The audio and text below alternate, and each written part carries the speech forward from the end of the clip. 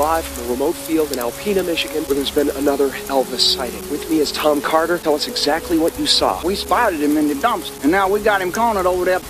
How can you be sure this is the real Elvis? I know the king, and that's him. Good enough. Get a picture of that. Go, boys! Go get him! You're not gonna kill him, are you? No, we just gonna put some tranquilizers in him. King has always had a tolerance for tranquilizers. Bring him down! He's down! Elvis lives and we're gonna prove it. My agent told me not to do this. Can you believe it? Oh my gosh. Elvis, why did you fake your own death? There's three darts in him and he's still going. Oh, he's charging!